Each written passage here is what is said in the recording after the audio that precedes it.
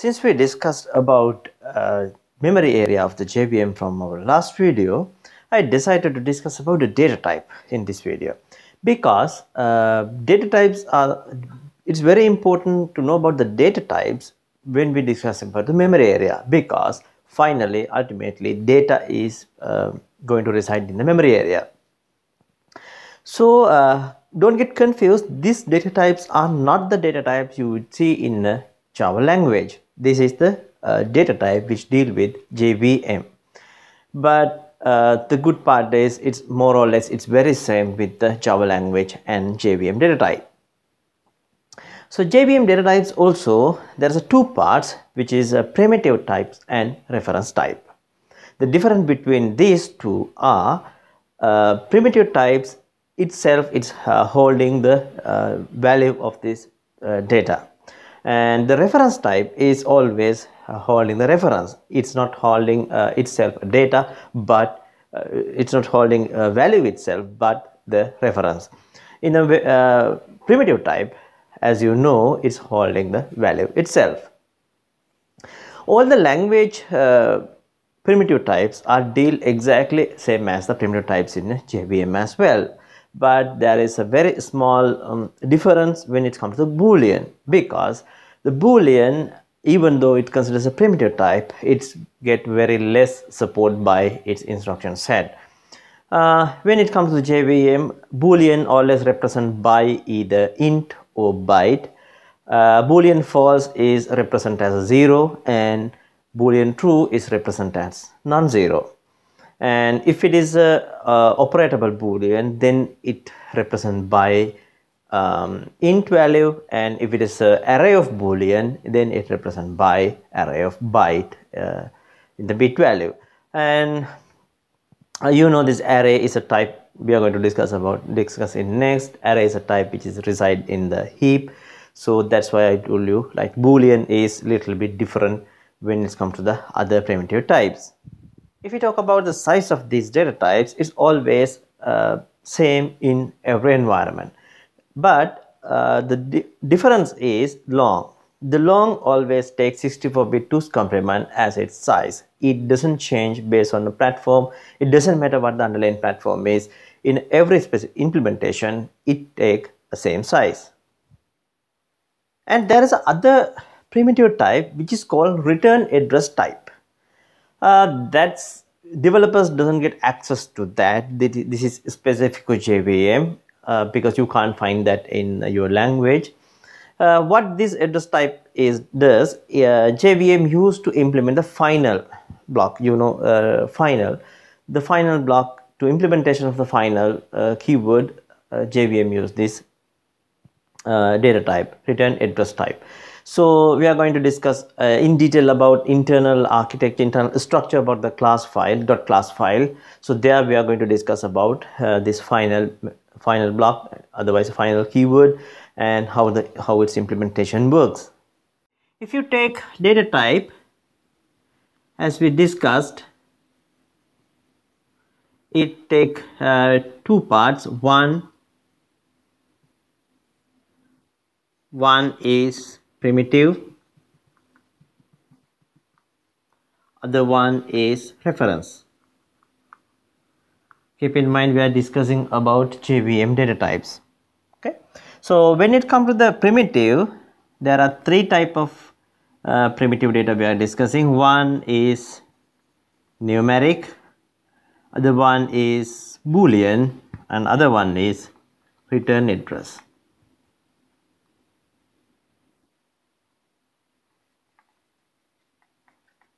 okay.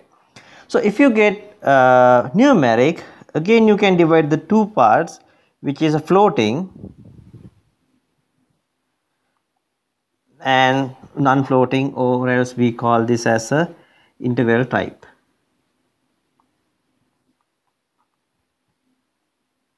Okay. So floating you have uh, two division again float and double okay? Integral type is you have you can find byte short int long and other one is char. Okay? So return address type we discussed this is a specific type which used to implement the final. Okay? So and if you get the uh, reference type so there are three reference type we can talk in java. One is class type reference other one is interface type reference other one is array type reference. Okay? So difference uh, between these types class is always reference to uh, instance of this class type uh, instance of class and interface is reference to implementation class instance of this particular interface. So don't get confused a class is always referring to the uh, class instance and interface is reference to class implementation. As example if you get uh, interface A and its implement class B. So here uh, this will reference to instance of B. Okay. So array type is reference to arrays. So there is other type which is called null other reference type but null is a specific type which not reference to anywhere. And if you take uh, there is other keyword special keyword called word in other words word size word size is a, just a base because uh, you can't measure from word size but word size is a, just a base. Um, as example if you have experience working with the agile uh, methodology you talk about story points. A story point is not a unit in a general world but only for the agile. So likewise word size is just a unit just a base. We need to assign uh, a value into the word uh, word size in order to explain that. So word size JVM implementation always talk about the word size and the length of the word size is decided by particular implementation. But there are two guidelines, two rules to uh, define the length of the word size. Rule number one, the word size, uh, the word size, particular word should be able to hold any primitive data type okay so let's say for example you have a word and you have a, a variable called int a the this your word should be able to hold a. And the rule number two double of word i mean uh, two words should be able to carry long or uh, double value. Those are the two rules in order to uh, take into consideration uh, when you're implementing word. But uh, you know then according to this rule at least word should be length of 32 bit. Otherwise we can't uh, get into these rules. As i said internal jvm implementation always talking as word.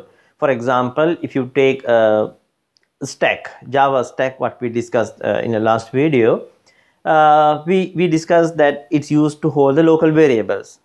So if you uh, create a local uh, Java stack with the size of the word and when some local variable put into this uh, stack, Java stack, uh, especially local variable section, uh, if you put the uh, primitive type, it should be hold by one word and if you put some long or double, then it would hold by two words. Okay, so now we discussed about data types. So uh, last video we discussed about the three types what is class loader, memory area and execution. So out of that we little went in detail about the memory area. So since memory area hold by other data so today we discussed about the data types. So data type is nothing but it's almost identical with uh, Java language data type except return address type. So um, I hope you have understanding about return address type as well as word those are the only new things comes with the uh, when we discuss about the JVM architecture. So let's maintain next video to discuss about some uh, other section like class loader or something in detail.